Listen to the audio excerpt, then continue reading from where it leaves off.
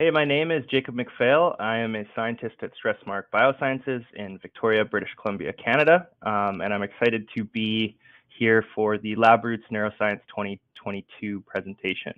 I'm going to be talking about characterizing pathology-inducing protein aggregates as tools for, for Alzheimer's and Parkinson's disease models and drug discovery. And here on the cover page, I have a, a TEM image of some of our oligomers we've generated for alpha-synuclein, some pathology, in primary neurons, our, our new AFM unit that allows us to characterize our fibrils in-house, and one of the cool experiments I'm going to talk about, which is the actual transmission of our preformed fibrils of alpha-synuclein. So, as I said, we're in Victoria, BC, Canada on the west coast. We are a life science reagent company. We make antibodies, proteins, immunoassays, and we have a particular focus on the pathological proteins involved in neurodegenerative diseases. Alzheimer's and Parkinson's diseases are the most common neurodegenerative disorders. And believe it or not, Alzheimer's disease is the sixth leading cause of death in the US. And this is actually likely closer to third in those aged over 65. And despite this significant impact, no cures are known. So we do know that uh, both are characterized by the presence of plaques in the brain, and these consist of protein aggregates, which include the key proteins alpha-synuclein, amyloid beta, and tau. These three proteins share a common pathological mechanism where fairly flexible monomers in a, in a healthy cell form these uh, oligomer structures, and these eventually aggregate into fibrils, which are observable in these plaques. And our goal at, at Stressmark is to generate active pathology-inducing aggregates in vitro to aid disease model development and accelerate Alzheimer's disease, Parkinson's disease drug discovery. Looking at alpha-synuclein, normally it regulates synaptic vesicle trafficking in neurons. The structure, when it's membrane bound, is, is believed to be alpha helical at the, the N terminus here, and a flexible C-terminal tail. And this is important because the serine 129, when it's phosphorylated uh, in Lewy bodies, is actually a, a, hallmark of Parkinson's disease. So in these Lewy body aggregates, there's a there's a concentration of phosphorylated serine 129 alpha-synuclein. In solution, when it's not associated with any sort of membrane, alpha-synuclein adopts this low secondary structure, sort of unfolded structure. And um, through various mechanisms that have been studied, but nothing definitive as of yet, these alpha-synuclein monomers form oligomers and eventually aggregate into these, these larger, more insoluble fibrils. And in those insoluble fibrils, we get a concentration of phosphoserine 129. And this aggregation is, is um, identified in, in, Parkinson's disease. So actual patients with the disease um, post-mortem are observed to have these, these aggregates in their brain. We've been able to generate several types of these alpha-synuclein, we call them preformed fibrils in vitro. And taking regular soluble monomeric alpha-synuclein expressed in E. coli. We're able to fibrilize that in the lab. And it's important to note that this, because we're using an E. coli source, doesn't have any phosphorylation. So E. coli doesn't have the, um, the mechanism to be able to phosphorylate proteins in their cells. So we know this stuff is, is non-phosphorylated at serine 129 coming out of our lab. Uh, we've been able to make these in uh, human, mouse, and, and rat alpha-synuclein variants so far. And looking at the actual fibril formation, so we use what's called uh, thioflavin T, so THT. This is a molecule that increases fluorescent emission at 482 nanometers um, upon binding to amyloid. So, so here, the, that rich beta sheet structure. And as fibrils are forming, those amyloids are, are forming and, and those more hydrophobic beta sheet structures are forming, and we get an increase in, in fluorescence. Uh, and here we're actually able to show if we seed just soluble monomeric alpha-synuclein protein with fibril, we get a very robust uh, seeding ability. Uh, so we get more fibrils of those forming from those monomers by adding fibril. So we're actually initiating fibril formation uh, with our we call them seeds. And this actually induces that phosphoserine 129 Parkinson's related pathology in mouse brain. So here we have alpha-synuclein preformed fibrils and just regular monomer as well. And you can see after an injection here on the top, monomer, we're not really getting a signal at either concentration. So this is a single unilateral injection into the dorsal striatum 30 days prior to immunohistochemistry. So we're looking for phosphoserine 129 presence with an antibody.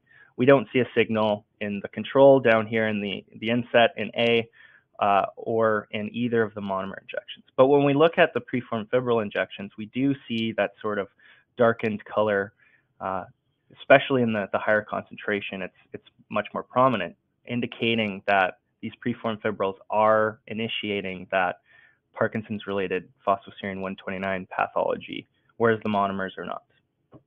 Again, these going in are not phosphorylated, so that's actually occurring in the brain after injection. Just taking a, a closer look and over time course here of, of the same experiment. So after injection into the um, interstriatal region here, we have monomer over the course of 120 days. We're not seeing any pathology. Again, we're, we're using an antibody to look for phosphoserine 129 here. Preformed fibrils, pretty prominent increase up to 120 days. Even after 60 days, we're seeing that pathology there over time. Now looking at a region distal from the injection site. So is, is this actually transmitting through the brain? And we find that it does. So monomer, again, no increase in phosphoserine 129 pathology. But in the preformed fibrils, after 60 days, 120 days, we see significant staining for phosphoserine 129. And this is in the parietal cortex, which is away from, distal from the injection site, indicating an actual spread. It's also important to look at dopamine-rich regions as, as these dopaminergic neurons are, are critical in, in Parkinson's disease. And again, we see our preformed fibril injections distal from this region are showing, even after 30 days for the preformed fibrils, significant pathology of, of phosphoserine 129. And again, nothing with monomer. Actually looking at the dopamine levels, we do see a significant decrease in both dopamine, which is displayed here, uh, and dopamine metabolites, which data not shown here, but uh, monomer, no effect on the, the dopamine levels, but preformed fibrils, 30 days, 60 days, 120 days, we're, we're getting an, an increase in the loss of, of dopamine, uh, which is produced in the dopaminergic neurons. So critical and, and associated with, with Parkinson's disease. These preformed fibrils, also we've shown them to bind to rat hippocampal neurons. So here we have our preformed fibril and we've conjugated it to this ADO647 dye so we can observe it in neuronal cultures. And in red, we're looking at MAP2 staining. So that's the pan-neuronal marker. And what you'll see here in the image are all of those little gray specks are actually our, our preformed fibrils. So we add them to the culture and then wash them. And this data was actually uh, provided by Dr. Rihanna Leek at Duquesne University. And what you'll see is, is there is a significant association of these preformed fibrils with these primary rat hippocampal neurons. So then the question is, are our preformed fibrils actually transmitted between neurons? And we designed this experiment where we took our preformed fibrils and labeled them with this BF555 fluorophore. And essentially, this is added to uh, eight-day differentiated GFP expressing SHSY5Y. I'm just going to call them SHY5 cells. And um, these are washed away. And then these cells are trypsinized and transferred into a eight-day differentiated iPSC cell line. So we're adding these fluorescently labeled fibrils to one cell line, washing them away, trypsinizing them, and then adding them to a different cell line culture. And we're going to look at the transmission of these fibrils into these, these different cell types. And that's what we see. So uh, here we're looking at the overall culture, and I'll, I'll break it into the, the different channels. But essentially, we're looking at DNA in blue. The Shy5Y cells we're looking at in, in green here. And the fibrils are in red. And then tubulin, which is much more concentrated in the differentiated, the neuronal differentiated iPSCs in purple. And what you'll see is the red is not just correlating to the regions of green where it was actually added to in the initial culture, we're actually seeing these fibrils have been transmitted into these uh, tubulin areas, which are representative of the iPSCs. So we're getting a transfer from the Shy5Y cells into the iPSCs, which is pretty cool. And looking at the different channels here, uh, it's very clear. On the right, we have tubulin, so that's representative of the iPSCs. Uh, fibrils, you'll see correlate to regions that we're only seeing tubulin and not necessarily the Shy5Y GFP expressing cells. So it's pretty strong evidence of, of transfer from those uh, initial cell line we added the fibrils to to the ones we've uh, transferred to. When thinking about all of these sort of pathological proteins, it's also important to look at the oligomer states, so the states that come before or, or are different from the, the fibrils and the preformed fibrils that we've generated. And we've been able to generate these kinetically stable alpha-synuclein oligomers in vitro. And looking at the images here, we have a native gel showing a large size of the uh, kinetically stable oligomers. So they run right about at the separating stacking gel interface. And what's cool about these is after a freeze thaw in, in panel B here, or after an incubation for two weeks at 37 degrees Celsius, on SEC we don't see a change in, in the size of the of the oligomer. So it's not falling back into monomer, it's actually maintaining its its structure. So here we have our trace for our oligomers, and there's always a small percentage of monomer around in these preparations. And after freeze thaws, stays the same, and after 37 degree incubation, stays the same. And on the right here is our, our TEM showing nice globular structure of these oligomers. And it's important to note that these are generated without any sort of inducer or inhibitor. There are some other ones we've been able to generate with dopamine and ECGC, which is a, a green tea molecule. And in terms of, of this, these, these are made on their own without any of these inducers. So trying to represent the most natural type of thing that we can. When we look at these oligomers versus fibrils, so not only do they look different under EM or, or AFM, but the actual secondary structure of these is, is different. So this is far UVCD, and essentially based on the curve and the very negative signal here, at 200 nanometers, our monomer is, is disordered. And when we look at our oligomer versus our fibril, what we'll see is our alpha helical content of these oligomers is much higher. And the beta sheet, sort of those more hydrophobic regions that bind THT when we're looking at it through a THT assay, those, those are higher in the fibrils. So there are distinct, even secondary structure differences in these. They're not necessarily just smaller pieces of of the large fibrils. We're also able to generate that serine 129 pathology with these oligomers. So looking at, here we have our, our control, we're looking at MAP2 staining, uh, and phosphoserine 129 is stained in green, and nuclei is, is stained in blue. And what you'll see here, and it's a little bit tough looking at this image, but you zoom in, you're able to see there's a, a yellow color which indicates overlap of this MAP2, so these dopaminergic neurons, and alpha-synuclein serine 129 when it's treated with these oligomers. And we're able to quantify this over many different cultures and look at uh, toxicity, so the amount of neurons left, as well as pathology.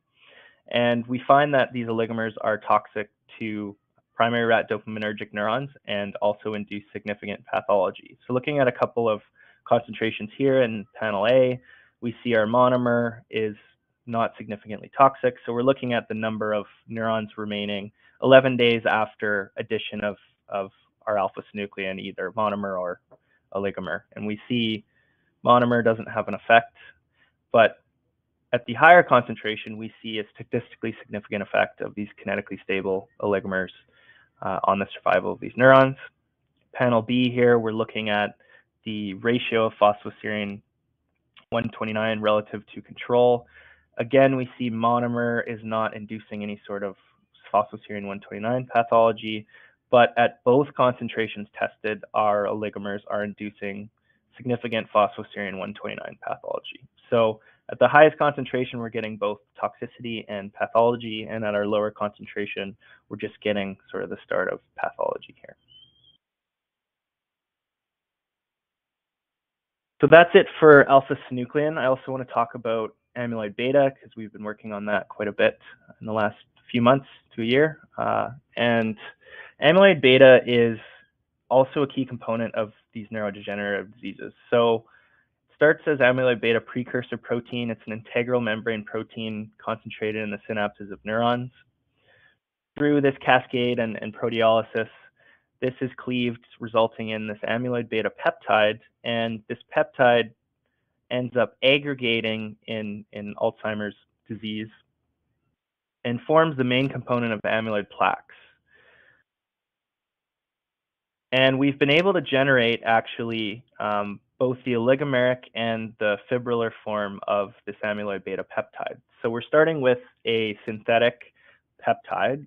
So we're not coming from E. coli as we are from alpha-synuclein. This is a synthetic peptide that uh, we generate these oligomers and fibrils from. And here's our, our TEM. So our monomer is, is fairly clean. Our oligomers are nice round globular oligomers. And these amyloid beta fibrils are much longer than the thinner and longer than the ones of alpha-synuclein we've been able to generate.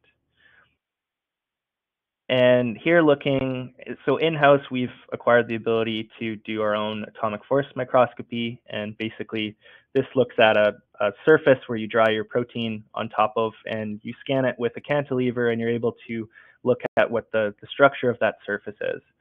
And we see here our monomer, we're not really seeing much, but like in the TEM, we're seeing these nice globular oligomers in our oligomeric preps and these nice long concentrated fibrils in our uh, fibrillar preps.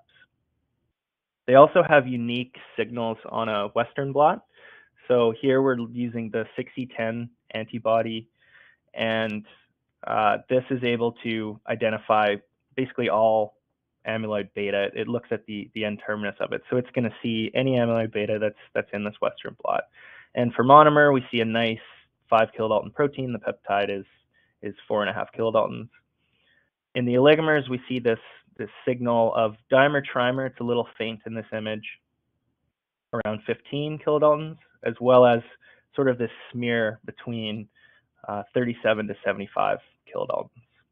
And in fibrils with the 6010 antibody, we see a higher smear and, and this signal that's actually in the well of the SDS page gel.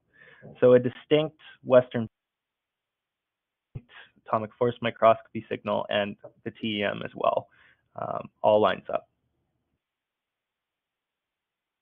And these are toxic. So we looked at uh, primary rat cortical neurons again and here we're looking at the amyloid beta injury uh, after 14 days, and we're just quantifying the amount of neuron here.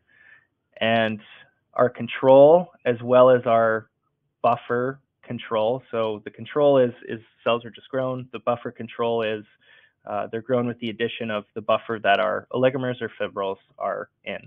And you'll see on the left there, the control is set at 100%. Our buffers on the right there in purple have no significant effect on the survival of these neurons.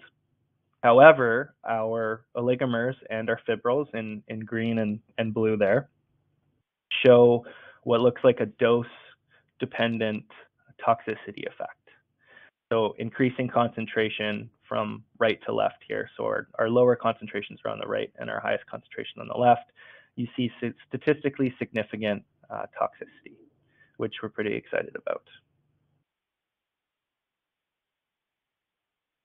Finally, we've also been working on tau. So tau normally in a cell functions to stabilize microtubules. As it becomes phosphorylated, it falls off these microtubules. So again, tau is a pretty flexible protein. Uh, it'll bind to the negative charge of the microtubules, and when it's phosphorylated, it falls off. And through a process that's not fully understood yet, it also will form these oligomers and eventually these paired helical filaments and these neurofibrillar tangles, which are also present in Alzheimer's disease. And we've been able to generate from E. coli these tau fibrils as well, these preformed fibrils, from a variety of, of different lengths of tau and, and familial mutations. And typically we need a heparin scaffold to be able to generate these fibrils. They don't readily form on their own. But we are also able to get pathology with the tau. So here we're looking at phosphoserine 202 and 205 on tau, as opposed to the Parkinson's phosphoserine 129 for alpha-synuclein. We're looking at tau. And after injections into the mouse hippocampus, we do, again, using um, IHC, we're using an antibody to stain this this phosphoserine 202, 205, we're able to see that uh, forms there. So in the inset, that's our negative control. There's no staining, but in, in all of these here, we're seeing significant staining of phosphoserine 202, 205. And again, coming from E. coli, we don't have any phosphorylation present on our tau. So it's actually inducing the, the pathology that would be present in Alzheimer's disease. Finally, uh, we have also generated these preformed fibrils using the baculovirus SF9 system. So this is a eukaryotic system that is able to phosphorylate. And coming out of this, we've actually identified up to 30 sites uh, by LCMS. And these fibrils will actually form on their own. So when this tau has been phosphorylated in the baculovirus SF9 system, we do see the ability for it to form fibrils on its own, and, and we're looking forward to seeing what pathology and, and toxicity we can observe with these new tau preformed fibrils. So that brings me to sort of the key conclusions and takeaways for this talk. And both our alpha-synuclein and tau fibrils generated in vitro are able to seed additional fibrils and induce the hallmarks of Parkinson's and Alzheimer's disease pathology in both mice and uh, rat models. Our new alpha-synuclein oligomers, which are also generated in vitro, are toxic to dopaminergic neurons and induce that phosphoserine 129 pathology as well.